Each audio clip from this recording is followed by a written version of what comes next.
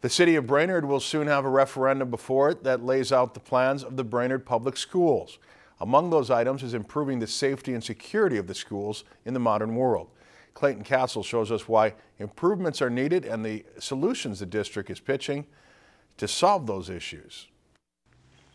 Blueprint 181, the referendum that will be put before Brainerd voters in a few short weeks, lays out four different areas that will be improved if the issue is passed. And school officials say it's no mistake that improving the safety and security is at the top of the list. It is the first priority, is the safety and security of our students and our staff. And so it really is the first thing um, uh, that we think about when we think about what is it that we want to do to our buildings or for our buildings. Among the improvements in many of the schools is creating creating a controlled, locked entrance that will require all visitors and persons to check in at an office in order to enter the building. Modern thinking about controlled entrances puts an office suite at an entrance so people actually have to walk into the office before they're allowed to uh, to basically check in to register so people know that they're in the building and that they have a purpose to be there. When thinking about safety and security, it all comes back to access and who has access to what parts of the building. It's time for us to, to you know think differently about how we allow access to our buildings to keep our kids safe,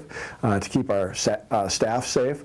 Um, and uh, the uh, the questions one and two on the ballot uh, address these concerns. One of the many safety and security issues that the district currently faces is the presence of two high school campuses, a north and a south campus. But officials hope that Blueprint 181 will address many of those concerns. We've got kids and staff that are shuttling back and forth um, all day long, uh, and so our south uh, entrance doors, for example, they just they need to remain unlocked because because of the number, of the volumes of people coming back and forth between those two buildings. Throughout the community listening sessions, parents have embraced the plans for safety and security because it assures that the school is doing its job of protecting their children. And that's an expectation they have of us uh, is to protect their kids when they when they come to school every day. Um, I, I, think it's also safe to say that it's the district's responsibility to protect its staff and to make sure that the environment that we create in our buildings is safe for staff as well. Election day to vote on the referendum is set for April 10th. Reporting in Brainerd, Clayton Castle, Lakeland News. If passed, the measure would increase the monthly school-related property tax on a median home value of $156,200 home, anywhere from $1 to $3, depending on which of the three questions are passed. If all three questions are passed, the tax would increase by $7.